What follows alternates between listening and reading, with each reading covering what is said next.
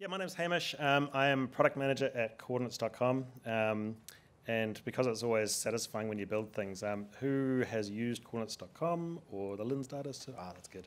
Cool. Um, so my background is in software development. Um, I actually got into mapping when I used to work for, uh, for Pizza Hut. Um, a long, long time ago when Google Maps had just sort of launched their uh, online Slippy map um. Um, and pizza delivery was a thing, and we had all this data around um, uh, pizza delivery overdue complaints.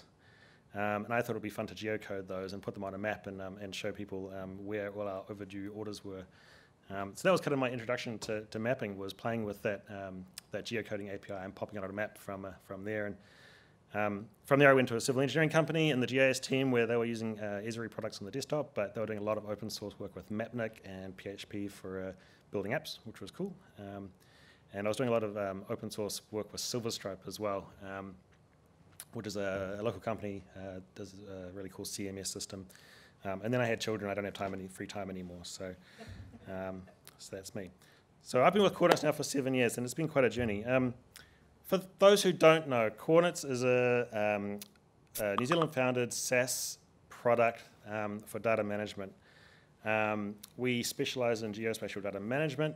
Um, we uh, host and publish um, tens of terabytes of data. Uh, we have 65,000 ish users. Um, and our number one focus is getting data used. we take data that's in one place and we, we get it to people who need it in another place um, however they want it, um, whoever they are, whatever software they use. Um, our priority is uh, making it easy to move that data around. Um, so we're a SaaS product, right? Which is an interesting sort of uh, segue actually from uh, Tobias's talk um, from building a stack. So, um, so in a way, we're sort of a little bit further down the pipeline where we've packaged up a bunch of technologies and then we offer it on a sort of pay-as-you-go kind of basis. but we're built on open source and we acknowledge that we stand on the shoulder of those giants. Um, part of our role is to maintain a healthy open source ecosystem um, by supporting events like this and contributing code um, and, uh, and sort of financial backing of uh, projects and helping certain features get uh, pushed in and tested. Um, and our CTO, Rob, Cobb, uh, Rob Coup, is uh, uh, just got announced as a new um, OSGeo um, charter member, which is pretty cool. yeah, so today I want to talk about reliability. And it's going to be real high level, just talk about some of the tools we use and what it takes to do what we do. Um, but I want to start with what is reliable anyway. Um, you know, what is it that we actually mean when we talk about reliability? And I don't want to talk about, you know, sort of numbers, um, but what does it actually mean at a higher level? Um, this is what reliable means to me. Um, I just sold a Toyota, um, a Toyota Corolla. It was uh, one of the most dependable cars that I've ever owned. It was great. Um, so Toyota is a company that understands the needs of their customers and has made reliability um, kind of central to their brand, right? So if you're buying a car and you want one that's not going to break down, that you can trust is going to um, go when you need it to go, um, you buy a Toyota. Um, and that's built on lots of reliable components, right? So that's the result of lots and lots of uh, time and effort spent on um, all the little details that go into making that car just work. Um, and that's what a lot of people care about. Some people care about a fast car. Um, some people care about um, a particularly uh, maybe economical car. Um, but you've got a reliable car, that's what you get.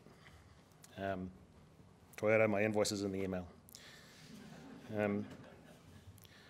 But what does that mean for data services, right? Getting data from A to B. the most obvious thing is I can get it when I want it, right? The system's going to be going. But it's also about can I find the data in the first place? Um, is it licensed? Um, can I get in the format that I want? You know, um, if I can go to the um, if I go to the site and get a KML, but I'm using um, but I'm using uh, something that doesn't consume KML, that's not necessarily useful for me. Um, is it going to be there in five years?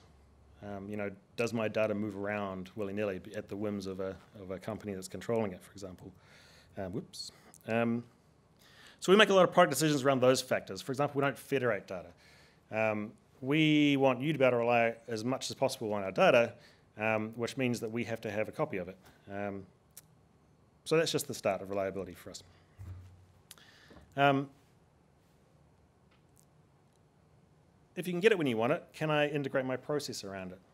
So can I go and take a boring business process that I have internally?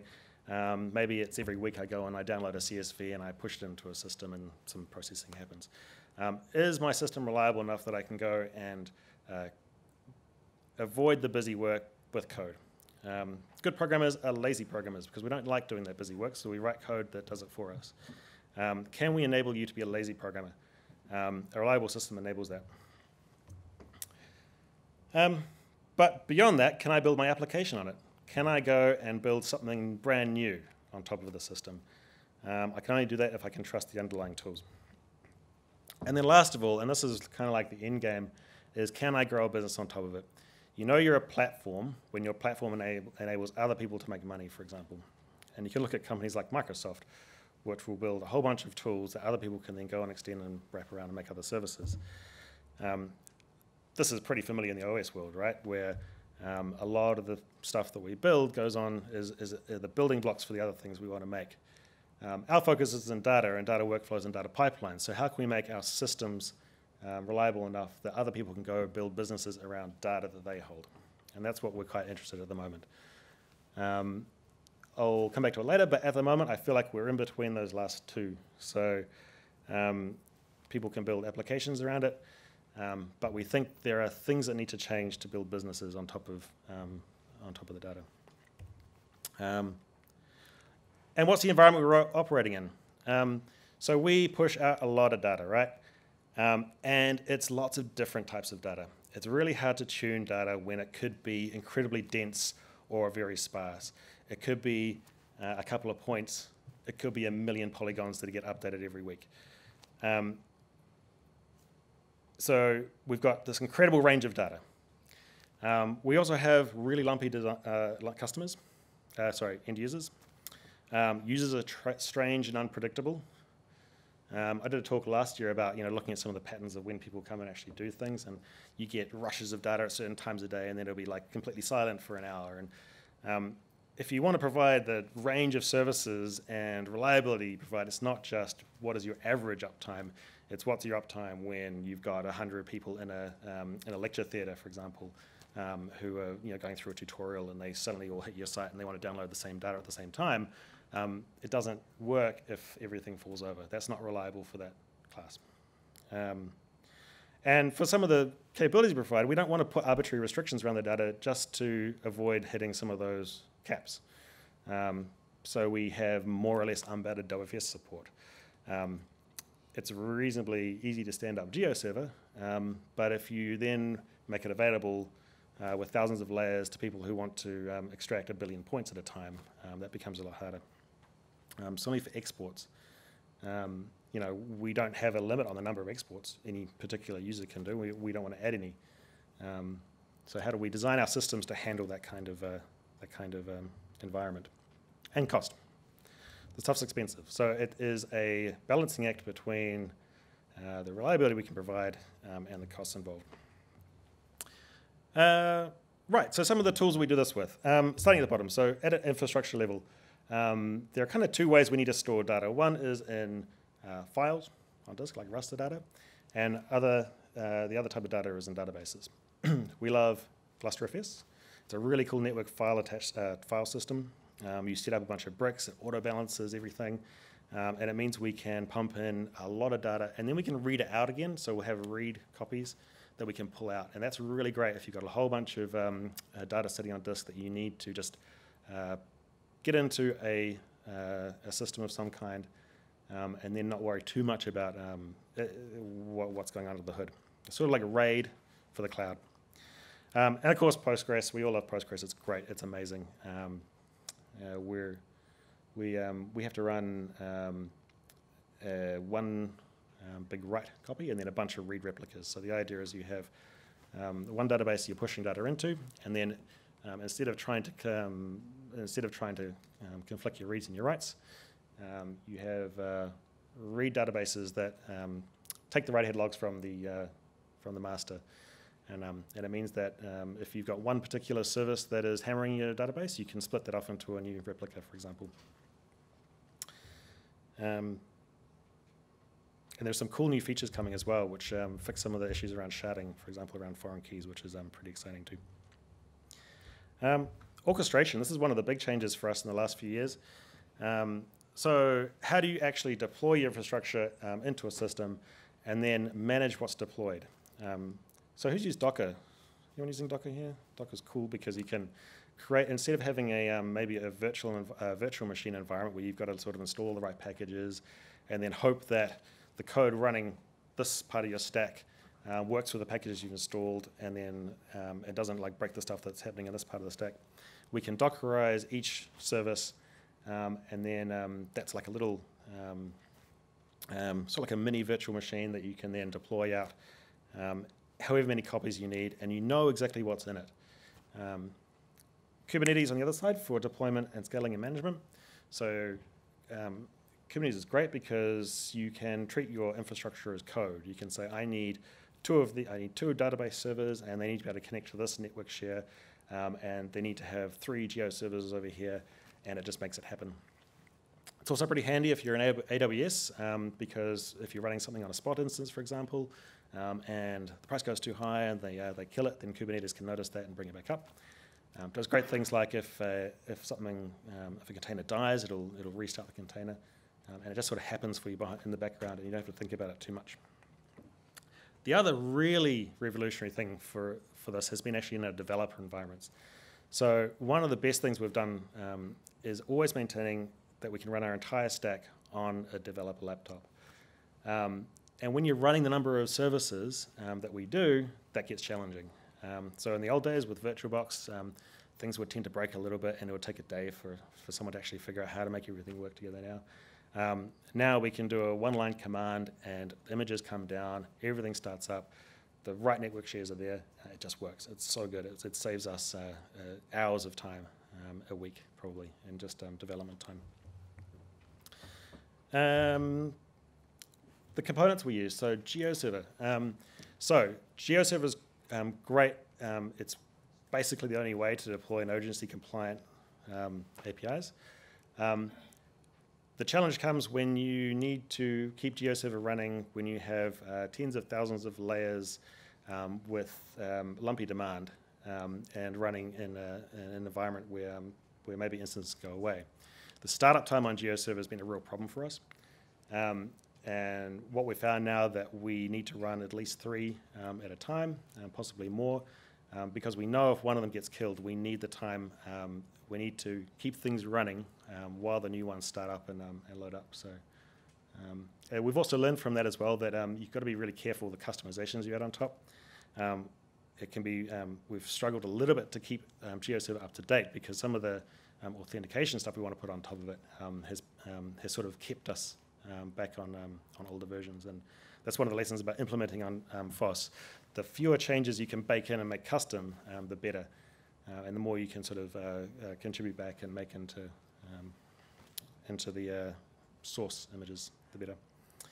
Uh, Mapnik for tile reading is awesome. Um, it's been super reliable.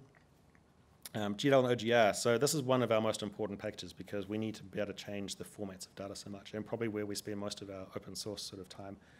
Um, if you are around tomorrow, um, our developer um, Craig is doing a cool talk about um, how um, he rewrote the entire PyTest framework for, um, for GDAL. And if you want to see how to, um, how to work on an open source project with a 100,000 line commit, um, or pull request rather, then that's a good talk. Um, um, and then we use Django as well, which is great. so what is it that we actually provide as well? You know, what is it? What are the what are the things that contribute to reliability on our side? You know, we've got all these great components. How do we stick them together? one of the things is internal tooling. Um, talked about before. Um, the other thing is, is making it asynchronous. So what we need to do is make sure that um, when one service gets hit, it doesn't pull down another um, part of our service. Uh, for example, on analytics side, we need to provide a lot of analytics data back to customers.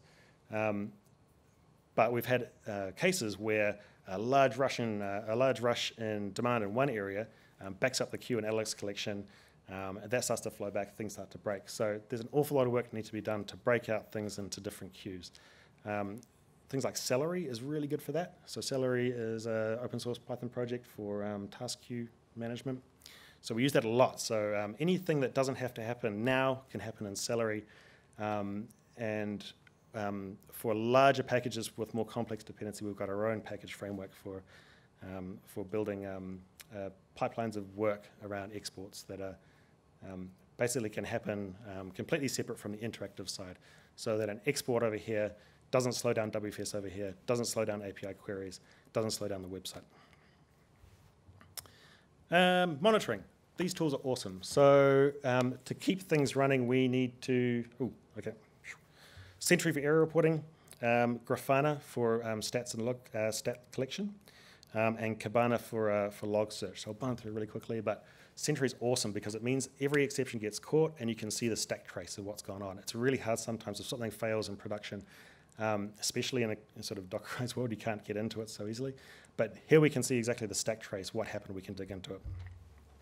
Uh, Grafana for identifying, identifying bottlenecks. Um, it's really hard sometimes to figure out what is actually slowing something down. Um, Grafana with uh, Telegraf for stats collection means that here, for example, we can see we're hitting a disk limit on, um, on, on our database. Um, so we can actually figure out what it is that we need to fix rather than sort of flailing around, um, knowing that something's wrong but not knowing where it's wrong. Um, and also for like digging into performance as well. So on tile rendering, we can see, okay, how many tiles we're doing, how many caches, how often are we hitting a cache, um, you know, what's our error rates in rendering, that kind of stuff. Ooh, okay, testing. Um, we use PyTest a lot. PyTest awesome um, for our unit testing and integration testing. So it's super important that we go, okay, so when we export this bit of data to a geo package, this is what it should look like okay, we've made some code changes, we've updated, uh, we've upgraded GDAL. Does it still have the same result? Is it still correct? And we've actually sort of over the years found the odd sort of like off by one bugs in, in um, sorry, in uh, software because you know there's been a package change. We've got all sorts of weird data that we've come across over the years. We run the integration test and something changes. And we're like, oh, okay, that's that's really weird. And then front end testing, um, we use things like Storybook, uh, WallabyJS um, to make sure that our front end still um, looks correct. Um, keeping things going, chat ops. Um, so we, um, lots of our monitoring stuff goes into our company Slack channel.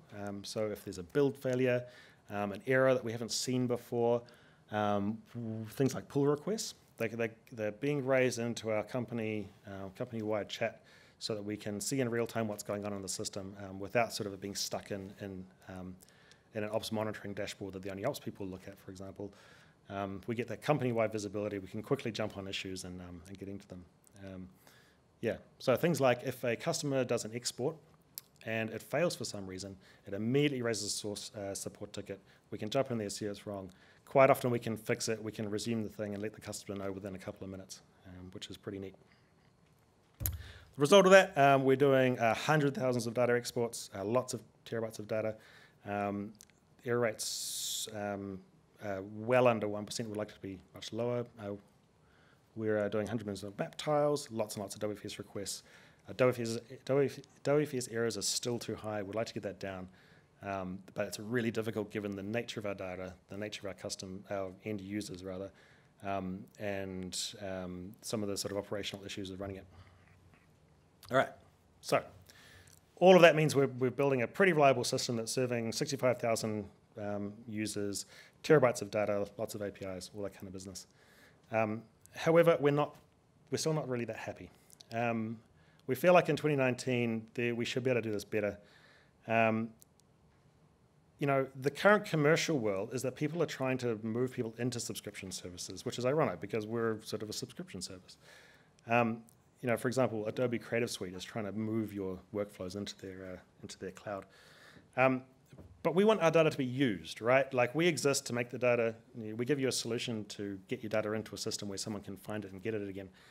Um, and delivering the data is still a hard problem. Um, it takes resources and constant man maintenance, et cetera, let alone a bunch of unsolved problems around uh, data collaboration.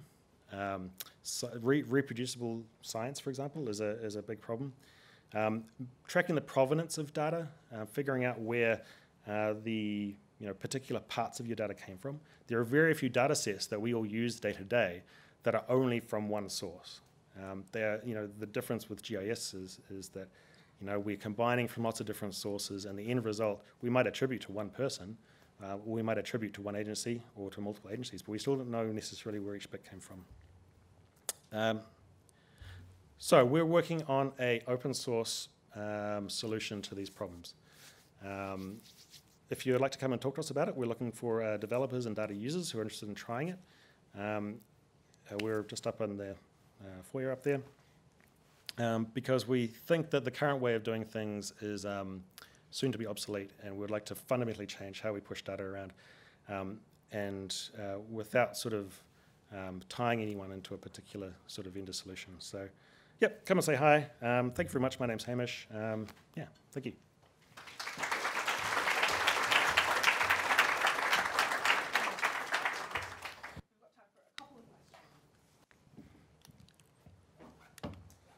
I've got one which is that obviously this is a technical talk, Hmm. um, which is great. I'm wondering from a user point of view, what kind of things are you trying to do from a, like a user perspective to make them use data in a more in a way that helps your technical side? Um, that's tricky because people have we can't second guess people's use, and that's one of the reasons that we exist is because there's a lot of stuff out there that second guesses what the user wants to do. Um, you know, that's why you see a lot of web maps and portals, and you know, hey, I want you know, um, we think that you're going to do this, so we built a map that lets you do it. But we're all about the raw data. Um, uh, and so in a way, we kind of have to suck it up. You know, if you want your, you know, your data like this in this format, um, then we're like, well, okay, well, we work to make that happen rather the other way around, making it easy to find, um, all that kind of stuff. Um, yeah, I mean, so part of this new uh, work that we're doing on, um, it, it does um, solve some of those issues that we have with maintaining a complex stack, and so it's sort of a mutually beneficial thing, hopefully. Yeah.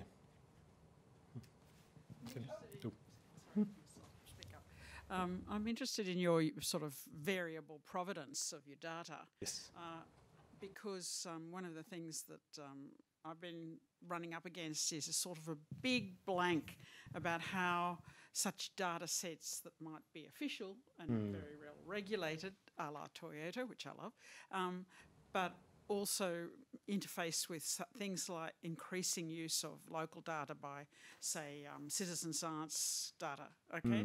Because it seems to me in the open source tradition that as literacy rises, it's, you know, it's never going to affect people at your level, but, but as people know more, I think um, people are wanting to test their data against more regulated data, Yeah. test their reality. Yep. Okay. Yeah, I mean, what was the question? I guess um, the How you manage yeah. um, less, of, less professional data collection. Yeah, that's a really interesting question, especially around things like um, so. The, people talk about like you know big data um, and stuff streaming data, streaming data from things. Often that's really low quality data. You know, like there's a lot of junk data out there, and there are things that you might be able to tease out of it. And you know, a lot of the work around you know machine learning is you know trying to extract some sort of meaning out of it. Um, on the other hand, there are a whole bunch of people who have collected good quality data themselves. Um, and would love to get hold of it. And um, one thing that we are looking to do is um, early next year bring back um, free personal publishing of data. Um, so that if you have collected, um, oh, a classic one was um, you know, I was looking at the uh, there's a national tree notable tree register that I discovered the other day, and it was great. Like this is just a bunch, bunch of people, yeah, who, who and like, but at the moment it's very hard to extract the data. You can look at it and uh, and, but would love to get that kind of data out. Um, unofficial but good quality authoritative data, just not because it comes from an agency, but because it comes from people who care. Yeah. Because the other big area of that is a lot of concern in legal services. Hmm. How we use video data now that can be tagged and Yeah. you know, verified, so it can be eventually used as witness data. Yeah. So what we would like to do with um, some of the some of the new work is um, is being able to trace those relationships back. Um, and it's funny because in, in the coding world, we've had the tools that do this for a long time. You know, I can you know trace back the changes to a particular line of code to the person who did it. Um, I can't do that to data. So that's one of the things we want to solve. So that's a really. Yeah, yeah. No, it is. Emerging very fast. Hmm. Sorry, I know there are more questions, um, but maybe you can ask Hamish. Um, sorry, uh, uh, maybe after this session during lunch. And I know that um, Em has a question too. But thank you very much, Hamish. Oh, thank you. Um, and thank you all the speakers.